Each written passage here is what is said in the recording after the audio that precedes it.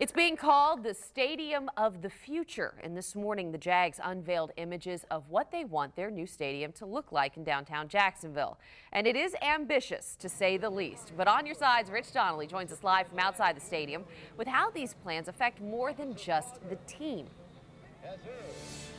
That's correct, Katie. If the project that the Jacksonville Jaguars unveiled today is actually completed, then it will completely transform this part of downtown Jacksonville. What was once considered to be an awning that would cover fans during hot summer days is really becoming far more involved.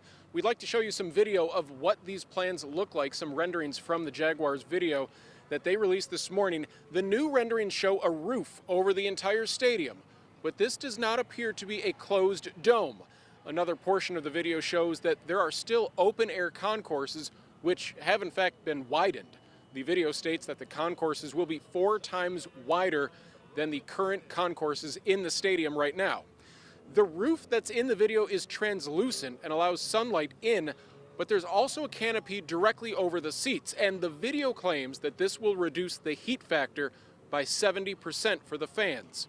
Aside from the roof and expanded concourses, the video also shows that more of the area around the stadium will be developed including the Four Seasons Hotel, which has been approved, as well as buildings that replace Lot J, which would be a new development.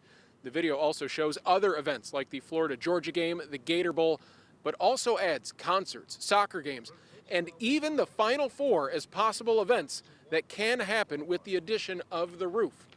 Coming up later this afternoon, we expect to hear from the Jaguars themselves, and we will speak with them about what their plans are for this roof, the rest of the stadium and including development within this property around TIAA Bank Field.